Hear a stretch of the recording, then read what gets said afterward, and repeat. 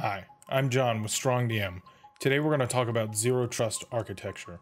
Security is based on trust. Trust used to be based on location. We kept all of our users, data, and infrastructure inside of a perimeter. This perimeter was both physical and digital. We assumed that if you were within the perimeter that you were trusted. But as technology started to change, our users, data, and infrastructure moved outside of the perimeter. With that shift, our security model had to change as well. Now we never trust and always verify. When someone or something requests access, we need to decide whether to grant it based on contextual data like who, what, when, why, where, and how. This approach is zero trust. It lets us audit access and authorization at any point.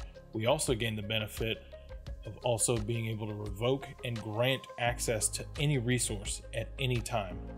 Zero trust architecture implementation can take a while, but it's worth it, and in the end, you'll reduce costs and increase security.